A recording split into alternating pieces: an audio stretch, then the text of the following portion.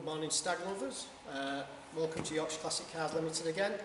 Uh, here in pouring it down Retford, you can probably hear the rain on the roof. Don't know if you can hear that or not, but anyway, it taps away.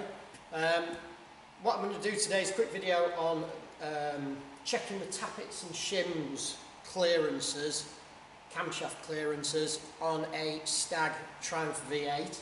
Uh, this is the original V8, obviously if it was a Rover V8 somebody put in there it wouldn't be standard. Um, and they have hydraulic followers anyway, so they don't have any checking particularly on the preload. Um, this car is one I restored about two or three years ago, I think. I finished the restoration on it. Um, the engine was built before I got it. Um, so I replaced the engine. It had all been rebuilt uh, as far as the customer was concerned. Um, it's developed very light tapping from the offside camshaft area. Now, there are a number of reasons you might hear a tap. It sounds like a tick, tick, tick, tick, tick. It comes and it goes, which I don't think it's the camshaft. Now, the engine was supposed to have been fully rebuilt, it was supposed to have had new cam chains and everything, so it's unlikely it's the cam chains, but I will check those, check all the, um, all the tensioners and everything first. Um, then I'm going to check all the camshaft clearances just to be on the safe side. It could be those, it might not be. I, I'd be very surprised.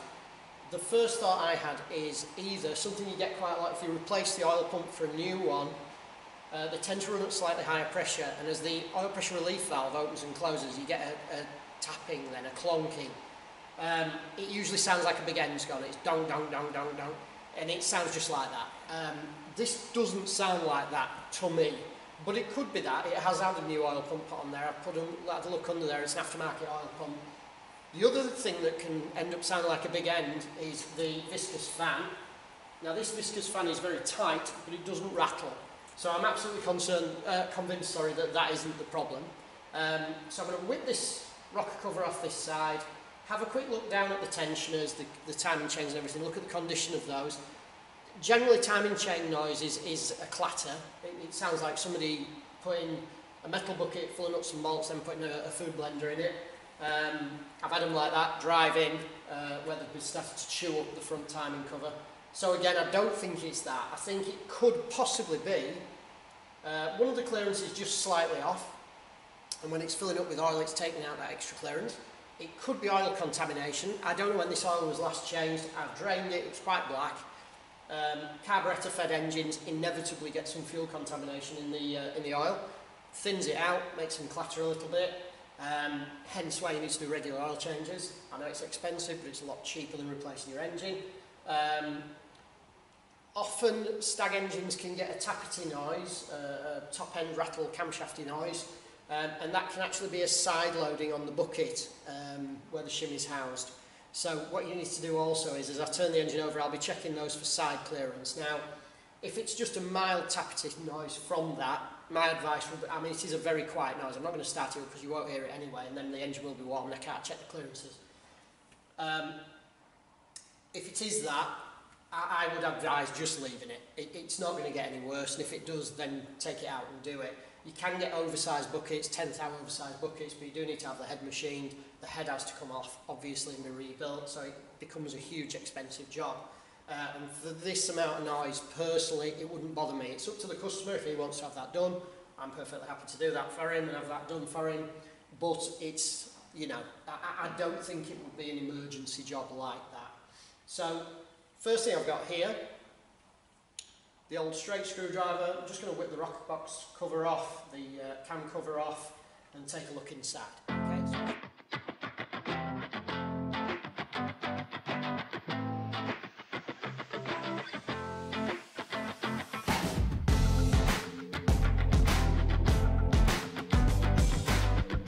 So there's the uh, that's the cam cover, rocker box cover, whatever you want to call it really, is off. Uh, you can see the cam chain here.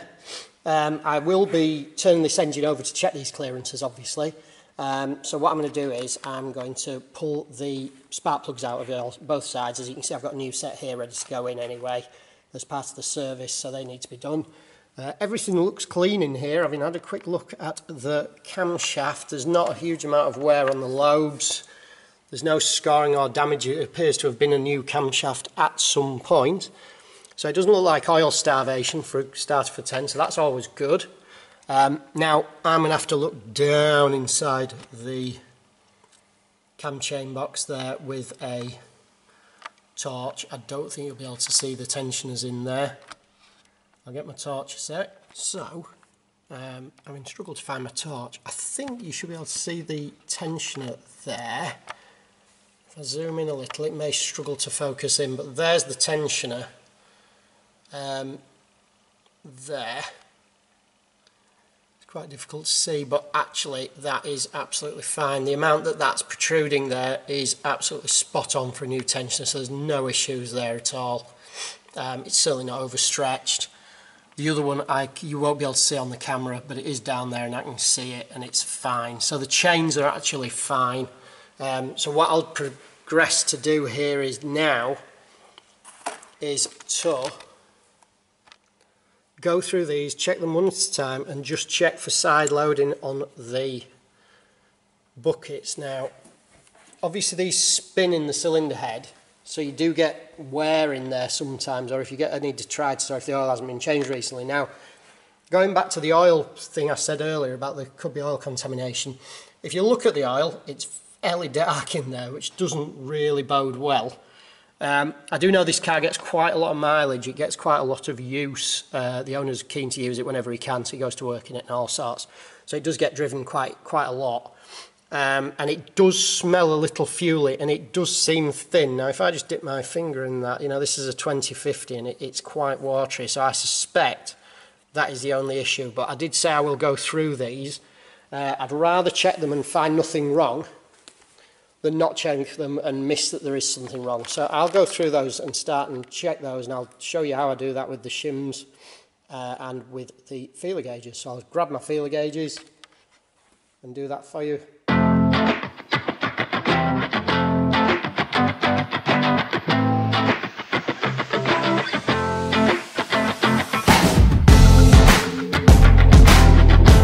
Now the plugs are out.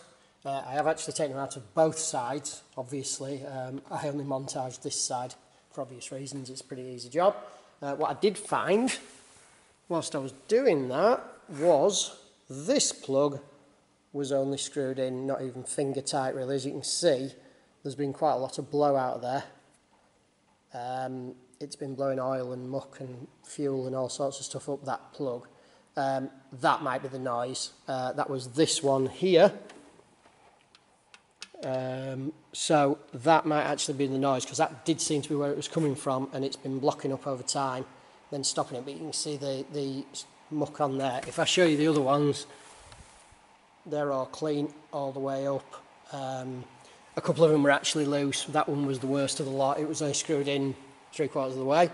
Now then, um, what I've also done here, you should be able to see there. Sorry about the shadow. Let me move around.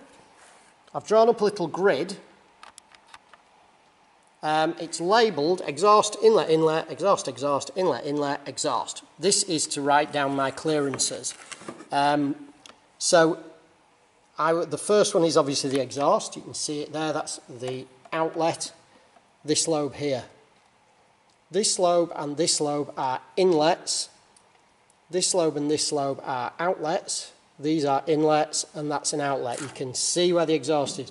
Now, obviously the valve clearances tappet clearances are different for each um, inlet and exhaust valve, okay? You obviously always have bigger clearances on the exhaust side because it's always hotter on, on those valves and they expand more and you need a little bit more clearance on them. Um, to check these clearances, uh, I've gone by the Haynes manual, as ever.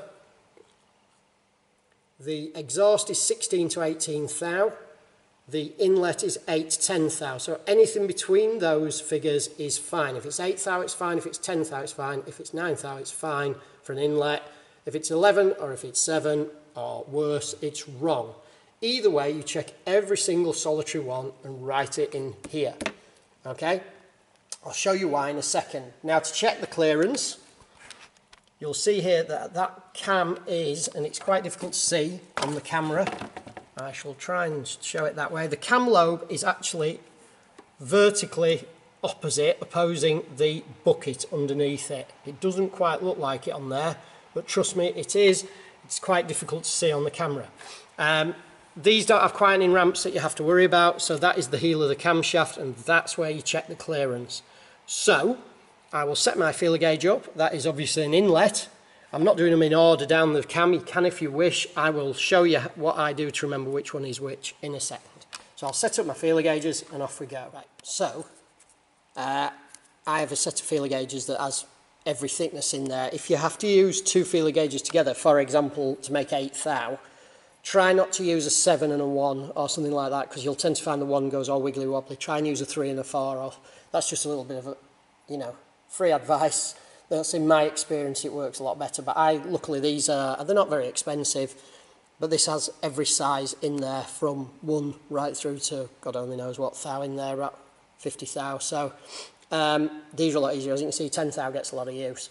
Um, so I've got the two settings there for my inlet. So what I'm looking to do is I'm going to start with the 8 there and I'm going to slide that in there. Now you'll see I'm having to curve her a little bit. It feels like a tight fit, but it isn't, okay? It's because it's curved a little bit. That's actually quite a slack fit, is that one. The 10 thou is a good fit, okay? That's, that, I would say that is probably 10 thou. Now, what I'm going to do is, I'm going to get another feeler out, probably get an 11 thou or maybe a 12 and see if that will fit in there. You always get in the book, it says make sure it's a, a sliding fit with just a little bit of grab and blah, blah, blah. And it, it's literally like really difficult to interpret. So what I'm going to do is I'm going to get my 12th thou out there, try to do it one-handed, which is really difficult. And I can't get that in, okay? So 12th thou will not fit. Um, therefore, it isn't 2 thou over for a start for 10. Now, what I will do is I will check it with an 11th thou, but I would suggest that feels to me a good 10 thousandths of an inch. I won't have an 11th thou, I don't think. Oh, I do have 11th thou, sorry, stand corrected, it does have that one. So I will try and get 11th thou in there. If that one fits, it does not. As you can see, that is not going in, okay? Um, you shouldn't need to force it. So that is 10 thou, which is within tolerance. So what I'm going to do now that's this lobe here, which is my second inlet along my list. So I'm going to go up to my sheet here, and I'm going to put 0.01. So that is 10 thou, and that is fine. So I'm going to put a little tick on it. Now, I'm going to continue to check all of these and write them down as I go along. Uh, what I will do is, my battery's going a little bit flat, so I just need to put my camera on charge. So what I'll do is I'll do each one at a time. If I find any anomalies, I'll show you those at the time. Okay. Right, welcome back. Uh, I've checked all but two of these. I'm just going to check the last two with you watching. Uh, I'm just coming around to check this one here. Now, to position the engine, uh, I don't really like using a bump starter or anything like that. So I've got it in fourth gear. You could just roll the engine back off fourth. You can see the camshaft moving there he says, just keep going, I'm going backwards at the moment, which makes the camshaft rotate clockwise when viewed from the rear here. We're bang on there, I'm checking this exhaust lobe here. Okay, missing from my list. Just check you can actually see what I'm doing there. Zoom in a little bit there, that one there, just to the left. Oops, sorry. There, you're actually stood on a cardboard box. There's no expense spent at Yorkshire Classic Cars Limited here. This is a working garage, not just a work, not just a YouTube studio. Uh, like an idiot, I've shut down my feeler gauges again. Every single time I do that, because I'm a donkey. ER.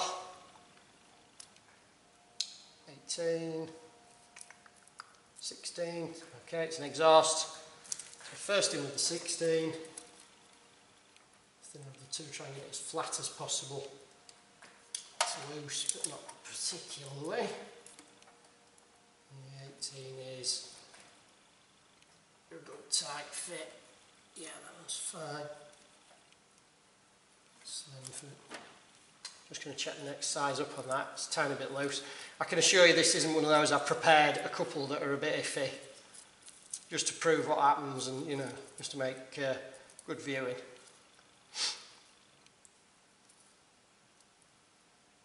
I haven't pre-checked it, I can assure you that. If I take a 9 and a 10, famous last words. There will be a 19 in there somewhere, but I'm not spending all day looking for it. Always be careful, you notice there that I've picked up two, two uh, feeler gauges at the same time. Do not do that. So 19 will not fit, so that is 18.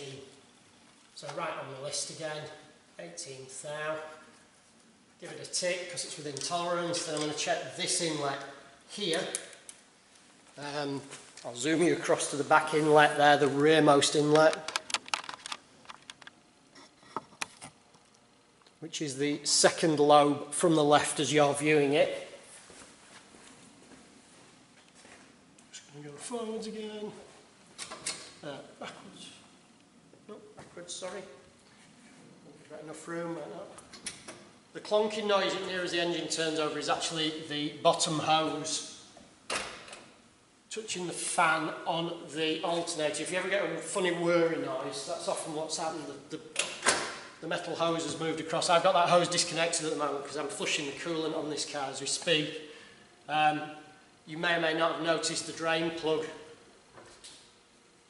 If you're going to flush the coolant on a, on a stag, you can't just take the radiator bottom hose off. That will only drain the radiator. You do need to drain the block. There are two block drains on either side of the block. I'd video doing it, but literally the most awkward thing to see in the world. Uh, so that's it. We'll knock out of gear, just so I don't move it inadvertently. See if you can see it. Yep.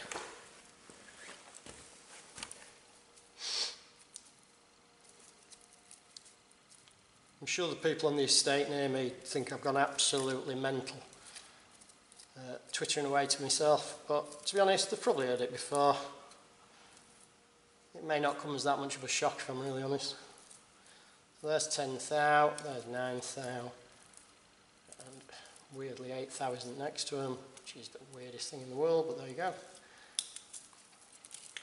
Ours is not to reason why, ours is just to feel feeler gauge and why. Check you've only got one feeler gauge. Yep. 8th thou into there sliding fit, ninth thou reasonably loose, tenth thou quite quite tight now, it won't all the way through, so it's a tenth thou fit. I can check it with an 11, I'd rather be safe than sorry. Literally takes 30 milliseconds. Yeah, 11 doesn't fit, so that's tenth thou again. Okay, so all of those actually check out correctly. Okay? Right, so um, all those shims have obviously checked out fine, the noise is not coming from there. However, if it was, I'm just going to show you how to work out what shim you need to replace with. Um, to do that, you would first need to remove the lock tabs here. These are 7 16 uh, AF heads on a quarter UNF screw. Okay, uh, pretty chewed up lock tabs to be fair. These would then push back. This bracket here pushes back and you put a 5 16 nut on there. Now you do that first, if possible. Then rotate the engine carefully and undo these two screws. Okay? Then this cam gear will retain its tension and you can move it away from the camshaft. Okay? Now, when I do that, just to be on the safe side, I put a little mark on here. You can just turn it to TDC there is a mark on here at TDC. There is a mark on here at TDC. So you can move that to this mark on that main, uh, that camshaft cap there, look, okay? Whichever you prefer, but I, I, I just like to put a, a permanent marker on there or something, or a little bit of Tipp-Ex or a little bit of paint marker, whichever you've got. Then, carefully, diametrically, so start in the middle and move them out, unscrew these nuts. Now, I go a tiny little bit at a time, okay? So click, click, click, click, just break the, break the tightness on them and then run them off probably a couple of turns, couple of turns, couple of turns, couple of turns. You've got to remember there is valve spring pressure on a number of these now. There, you can see that this one is at full lift, so there's going to be spring pressure here. This one is at full lift, this is at half lift, this is at half lift, okay? If you just take these ones off here, it's going to break that camshaft or it's going to damage these caps, okay? Or the journals, in which case you're in a world of pain and expense. Remove those carefully. Lay a piece of card or hardboard or something on there on your air filter, or if you're using the standard carburetors, obviously you would have had to remove all that. Lay them out on the floor so you know which nut and which washer came from each cap, and then put the caps down in the order they came off and the direction they came off, okay? They are all numbered, but it doesn't mean somebody hasn't messed them up in the past or used an odd cap or something like that. Make sure they all go back. If it's working now, it'll work when you put it back together again. Keep them all together. Then you will need to remove the bucket. The bucket is the part that the camshaft rubs on underneath. And inside or under that bucket, should be inside, there will be a shim. These are stag shims in here. Okay, these are all different thicknesses. Some are pre-loved, as you can see by the big dent in the middle of that one. Okay, that's really worn is that, but these are worth keeping just in case you can't get any more. I inherited these from York's Triumphs. They were all in order, as you can see, each one was numbered. Uh, and I dropped the box when I inherited them. They are now not in order. They're in some sort of an order. I aren't really sure what it is. I started writing them on, but, you know, I've better things to do in my time than that. I will show you how to check the shim thickness uh, accurately, because obviously if there is wear on the shim, it will not be accurate anymore. You need to know what that thickness is. It's difficult to calculate out that shim, okay? You may find that that dent has appeared where the valve stem is, okay, the top of the valve stem. If that is the case, you may, when you measure up, realise that the actual shim is the correct thickness and all you need to do is buy another one without the wear in the middle, okay? Um, I, I, have seen these turned over before and used the other way up. Uh, I'm told you're not supposed to do that, uh, but it's worked perfectly fine whenever I've seen it, so, you know, you're probably safer just to replace them. Okay, so I'll go show you how to calculate which shim you need. Just bear with me. Right, so uh, hopefully you can see that. Um, you can see my micrometers that I use for measuring. If you don't know how to use a micrometer, okay, you open it, you place what it is you're measuring in there, okay, and then you tighten it with that little part there, the clutch. When it stops and clicks, okay, that's when you're there, all right? And then you have to read it on the vernier scale. If you've got some with a dial or a digital, that's significantly easier. You can use a vernier caliper. Uh, I find them a little bit hit and miss, quite honestly. Uh, I prefer to use a micrometer. I prefer to use an old school micrometer that I'm not going to go into reading. If you want to learn how to do it, I'm sure somebody will do a talk through on that. Um, I did have some very, very nice ones, but uh, they got stolen many, many years ago. So what I've done is, I'm done a hypothetical inlet shim, okay? The clearance should be 8 thou to 10 thou. Boom. All right? When you've measured it, hypothetically speaking, the clearance was actually 15 thou and it was noisy. You've got that familiar tick, tick, tick, tick, tick, tick, tick, tap it noise, you know? Uh, not a donk, donk, donk, donk, that's a big end, that's a fan, that's an oil pump, something like that. Uh, you've whipped out the existing shim, all right? You've done all that camshaft uh, debacle. You've got the shim out, you've found out that that shim is 32 thou thick, all right? Uh, so what you need to do to get your new shim, now you've checked it, the shim is flat, there is no recess in the middle, hypothetically, okay? You've checked that 32 thou shim.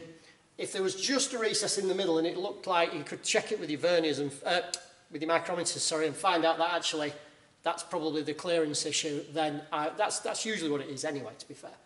Then I would just put a new shim in there the same thickness and you're probably fine, okay? Your new shim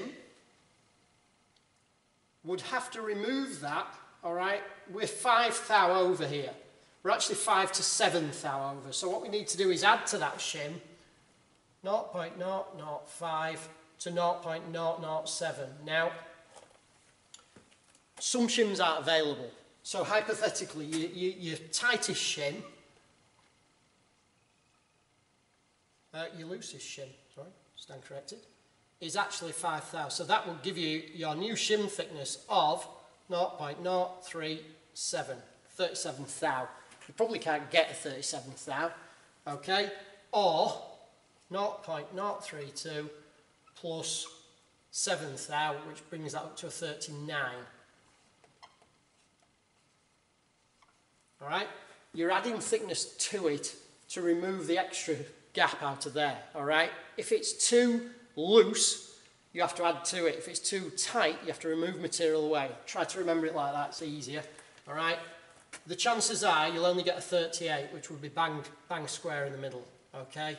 And that would be a 38 thou shim. Um, that would go back in there, and that would remove the noise from your engine.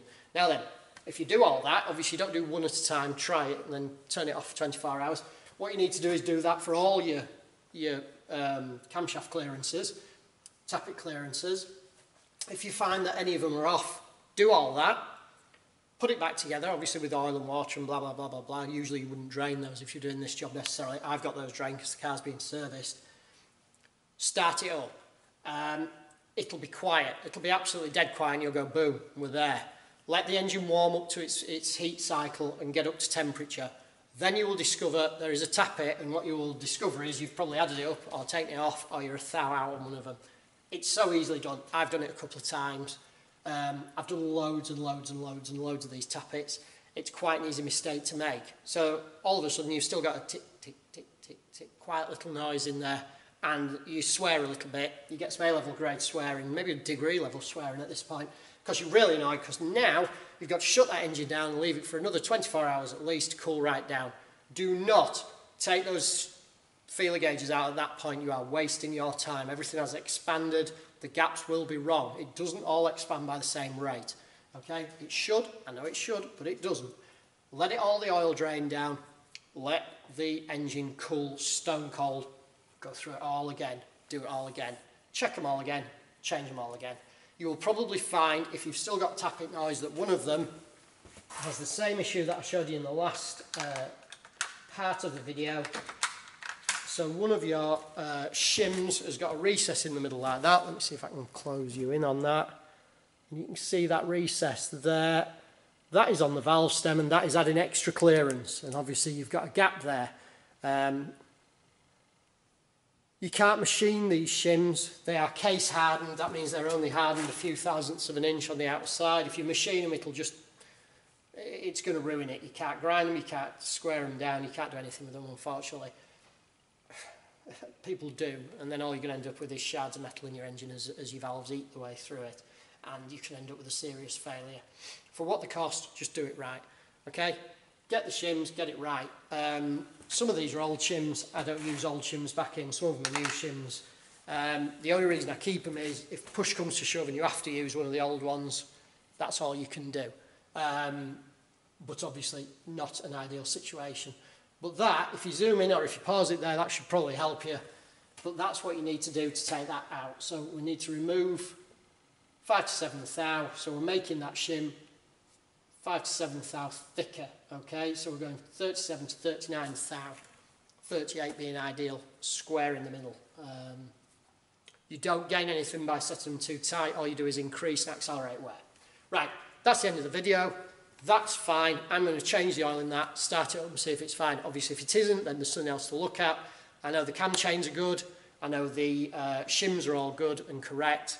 I suspect it's either the oil pump or um, it's the oil was just thinned out from being worn. It's allowing extra clearance in there. Obviously, all these shims and things take account of the thickness of the oil. Always use a good quality 2050. Change it regularly.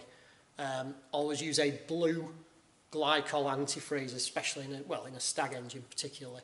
Um, they are extremely sensitive to antifreeze. Right, that's of the video. Okay, more to come, especially on stags.